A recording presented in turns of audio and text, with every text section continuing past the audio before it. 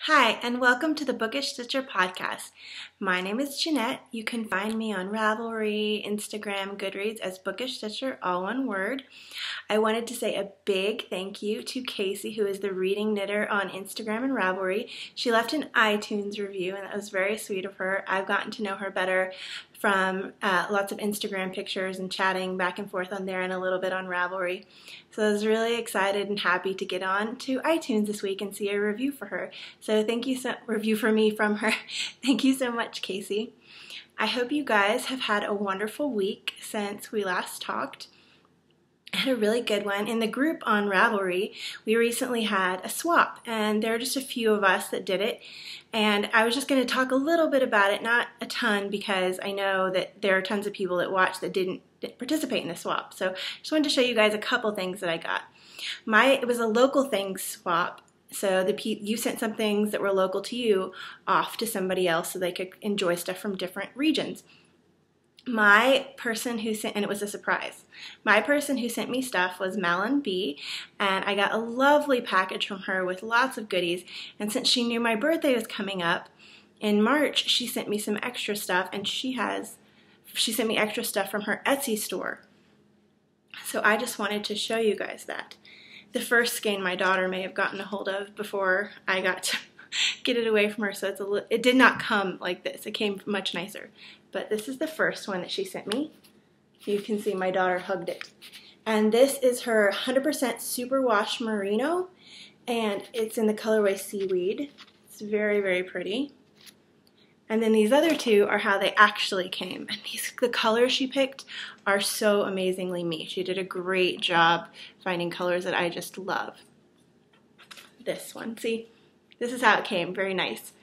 This one is the same base and it is 100 weight, it's 130 yards, so it's a little bit less of a skein. It's 50 grams. And this is in the purple blue natural colorway. And this is a, says fingering weight, so the other is a DK.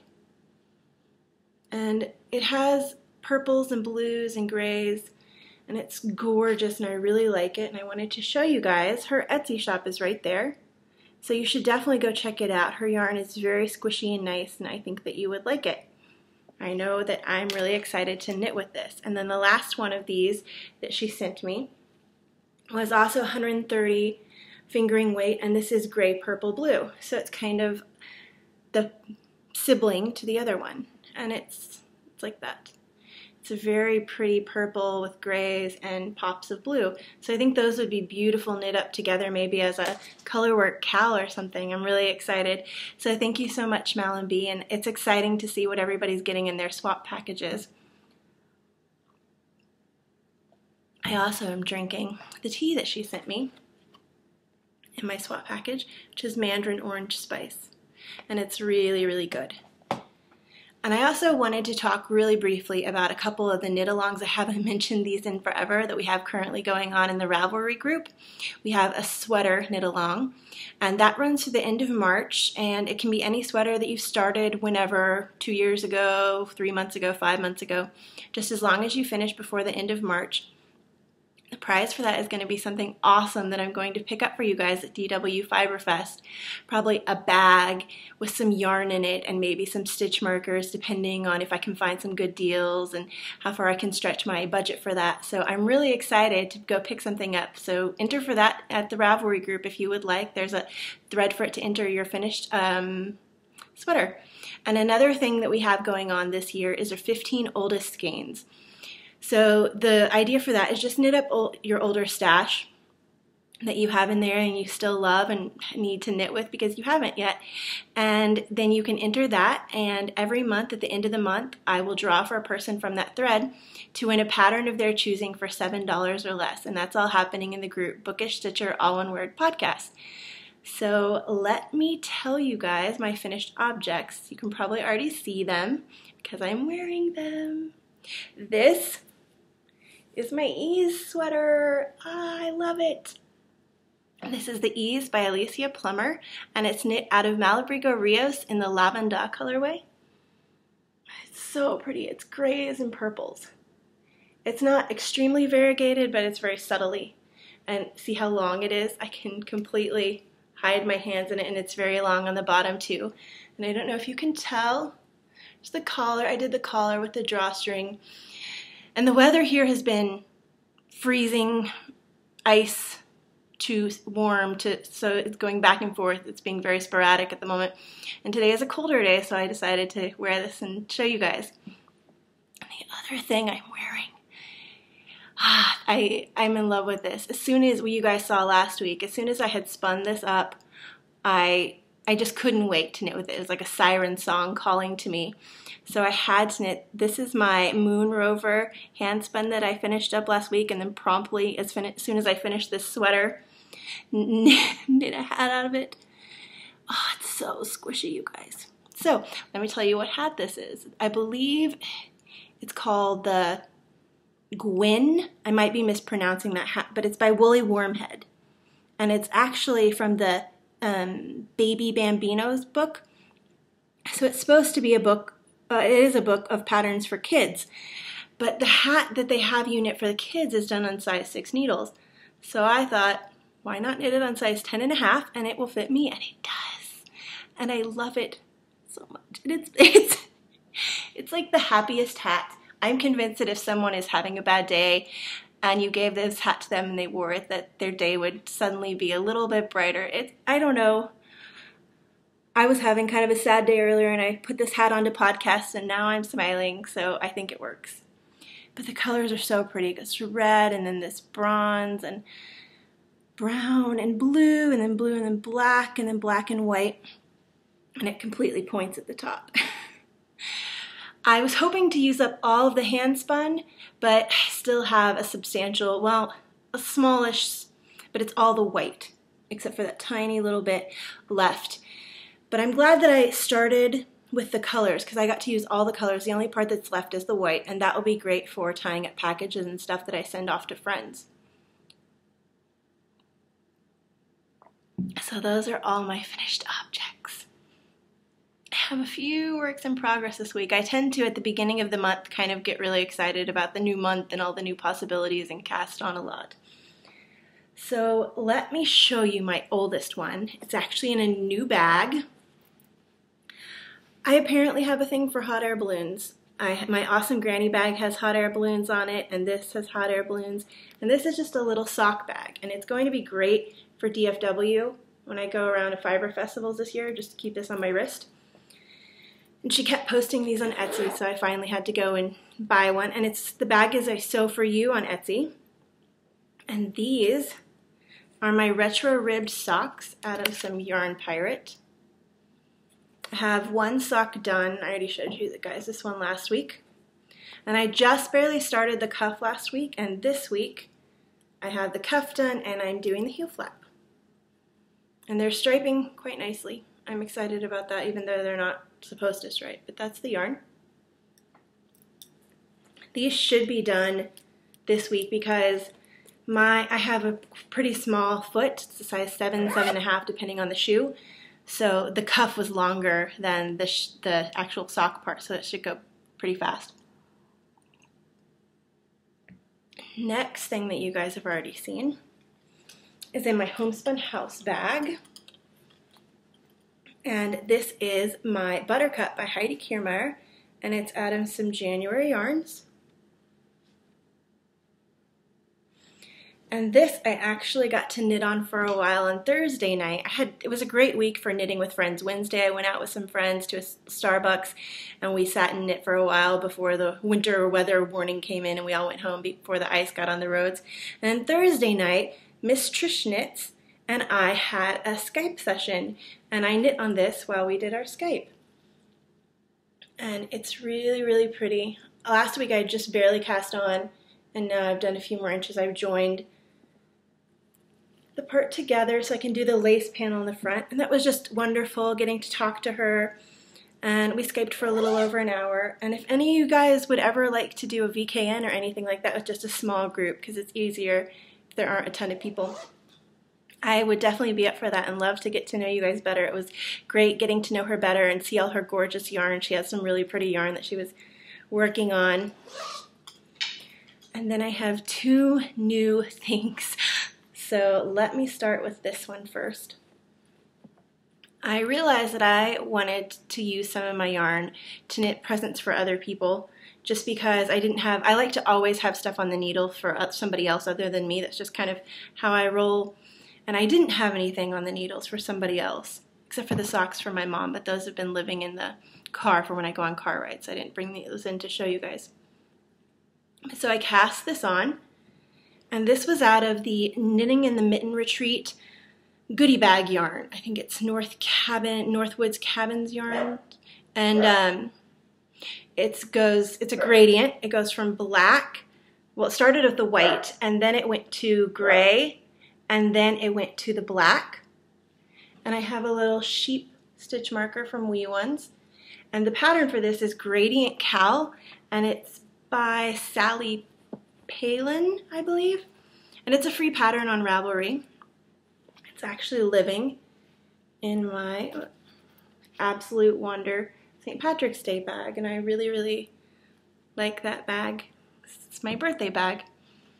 And the last thing I have to show you guys is another birthday thing, but this is not for me. It's for my little pickle, my daughter.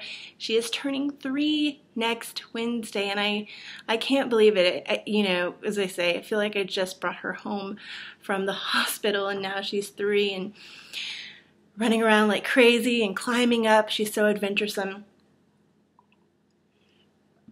And so Friday evening, I decided that she needed a new stuffy for her birthday because she loves my knitting so much.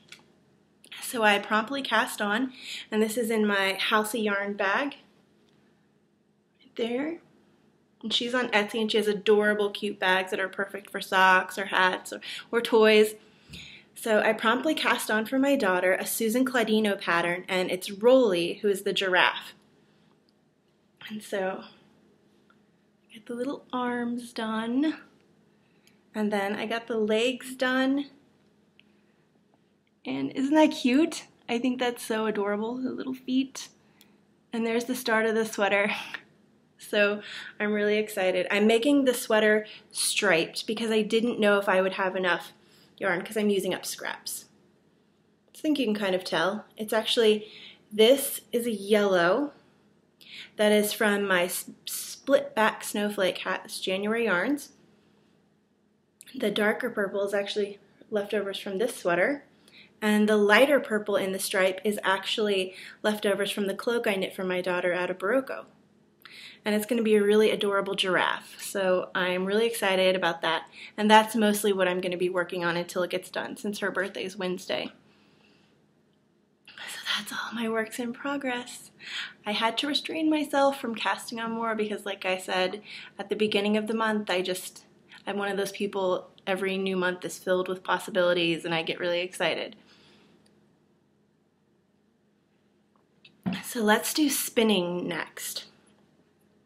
I started on March 1st some Corriedale on my wheel. I actually am participating in the Instagram the spin 15 and 15 and so she had this thing where you pick out what you're going what you hope to spin in March and so I have three braids for my wheel and then two drop spindles I want to work on and the first braid for my wheel is actually with the U University Year of the Sheep. And everybody was saying on Instagram that this looks like Easter colors, and it does. It kind of reminds me of Peeps. There's yellow, a very bright pink, and then a lighter pink, and then a blue underneath. So this is my first time spinning with Corriedale. It's not that bright, yeah. And it's it's pretty grabby, considering I just spun the Moon Rover, which slid out of my hands with wonderfulness. But I don't know if that is standard for this breed, if Corriedale just in and of itself is more grabby, or if this spray that I got is more grabby. So I look forward to spinning with this breed again and kind of just exploring it. I think this will be maybe, I thought of maybe a stuffy for my daughter, maybe a little bunny for Easter, but it's not soft. It might be soft after being soaked, but I don't know if that would be a good idea. Or it might be some um, hats or mittens with lining because, it, like I said, it isn't really soft. But I finished half the braid. Now what I did with this, kind of what I did with this, is that I split the braid down the middle, broke it up by colors, but what I believe I'm going to do this time is this one I ended with the blue. The next one I'm going to start with the blue so that I don't try to match the colors up at all because I don't, it didn't work very well on this one, but this turned out beautifully. So I'm in love with it and it's so smush, this, oh, it's so smushy. So that was my spinning this week. Now for enabling, there since it is my birthday month, enabling is just going to be heavier this month than normal other than Christmas time because my mom or my family um, give me money for my birthday. That's just kind of what they've done since I've been an adult. And what do you do when you're a knitter who gets money for your birthday? You go to Etsy. At least I went to Etsy. And also, my husband will have some stuff that he'll get me, and so I'll be showing that off next time. And there would be more enabling. I actually, my mom gave me the money, and I promptly went to Etsy and spent all my birthday money. But one of the packages, the bigger one actually, is a kit, and it hasn't arrived. The mailman said it was supposed to arrive Friday, but it hasn't arrived yet. So I'm just telling myself it will arrive and it's not lost because that would make me really sad.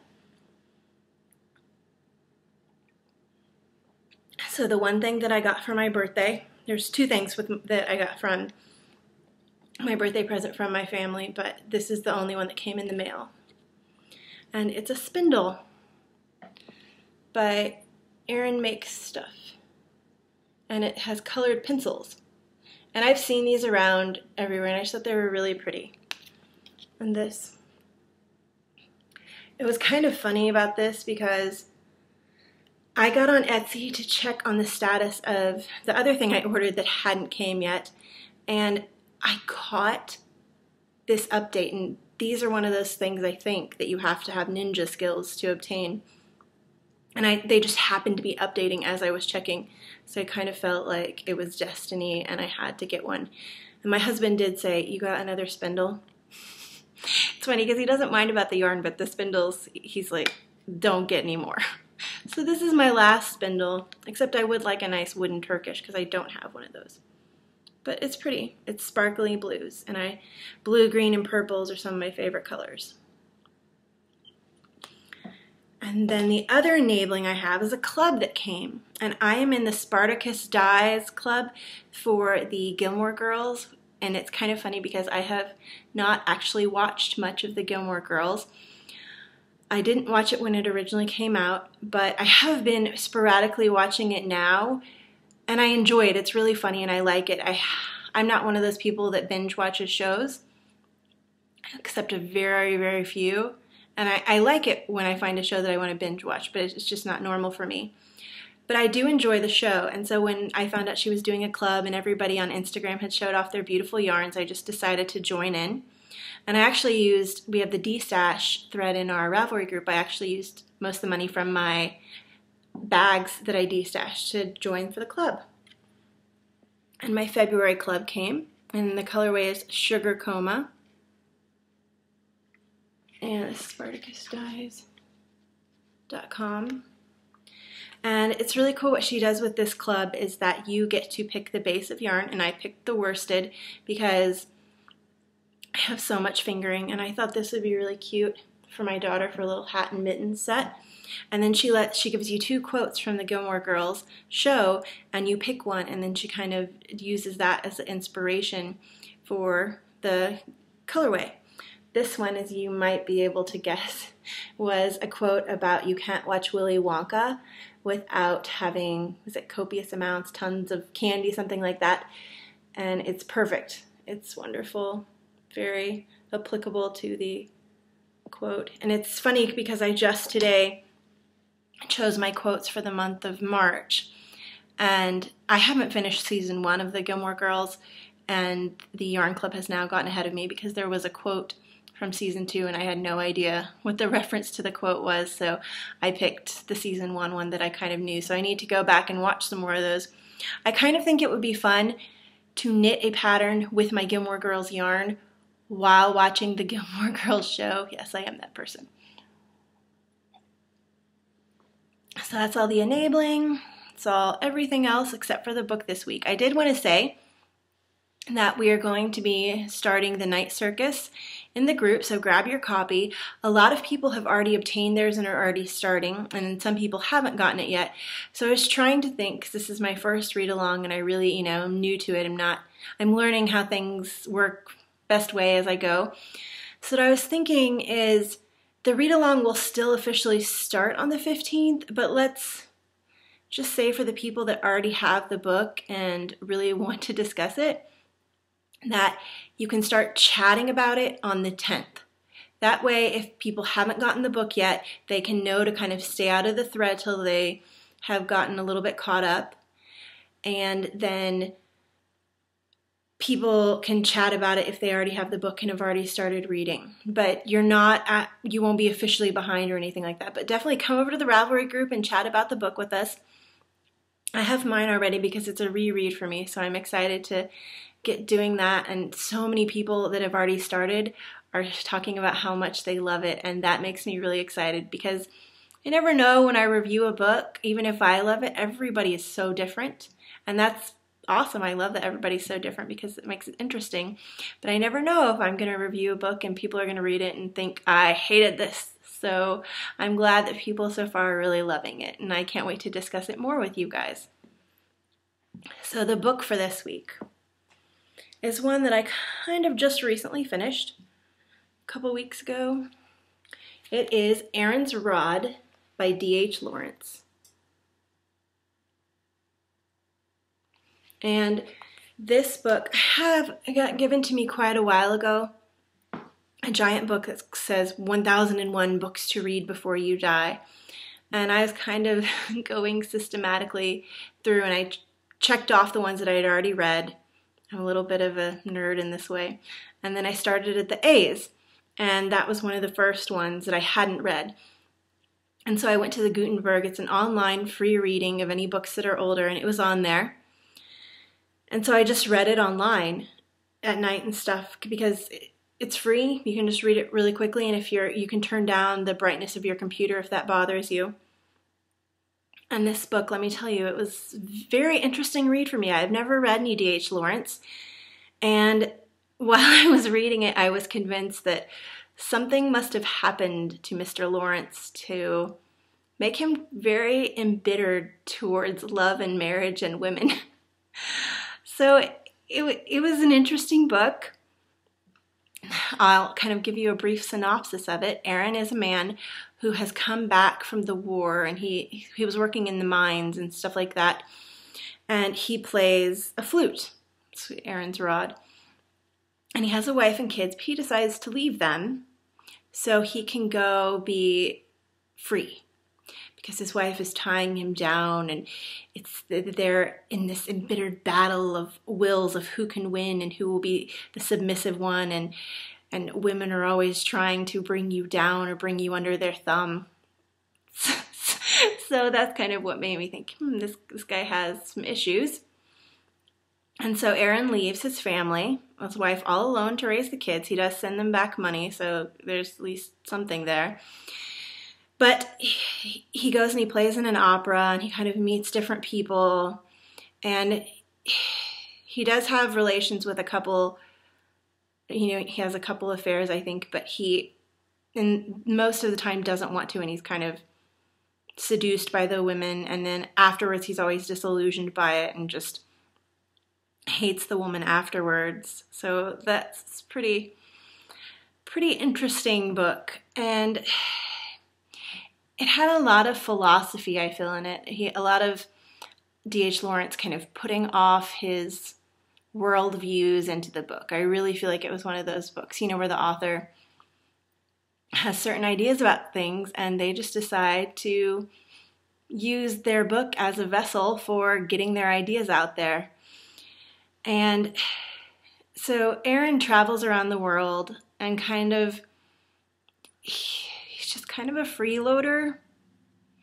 He lives off of rich people's money. He'll go stay with them and when he's in the opera, he is working and making money, but then he just goes to Italy and stays at some rich people's place and they kind of feed him and then he just travels around and there's another man that he kind of forms a bond friendship with, and they do a lot of talking about their life views and things like that. And I won't give away what happens in the end to Aaron's rod, but I guess for Aaron it's tragic.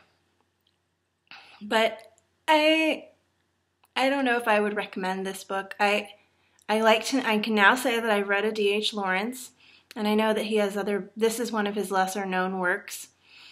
So I might try to read one of the ones that he's more known for and see if I can if I like any of those, but this wasn't a particularly enthralling read. It, it, was very interesting at different points when he was spewing off about how much what's wrong with women in love. So I don't know. I need to go research more his life because there was something going on there. But that's the book for this week. I was going to do a different book and I had everything planned out and I had the title fit in it with it and everything, but then my yarn stuff didn't come. So I'm going to have to wait and review that book next week so that I, the title will be applicable. But this is this week's book. Aaron's Rod by D.H. Lawrence, and it is apparently in the, or it is in the 1001 books you must read before you die. So I can now say that I am one one more book done on that checklist, and I, yeah, I'm, I wasn't in love with it. But you, you know, you might be your favorite book. But if you've read any D.H. Lawrence and you have one of his that you really love, definitely tell me about it because you know this is one of his lesser known works and that might be for it's probably for a reason you know. So if you've read any others and you have any recommendations of any classic dh lawrence that you think is really well written i would love to hear it. So that's everything for this week you guys.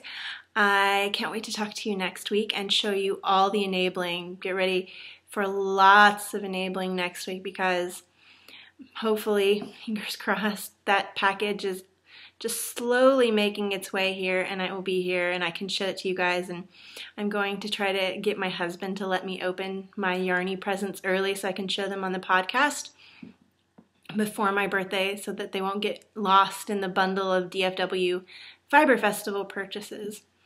So I hope you guys have a wonderful week. I hope that spring is starting to come sometime. I know here it's cold, but I hope that you guys have a wonderful week and that you get to do all the things that you love. Okay, bye guys.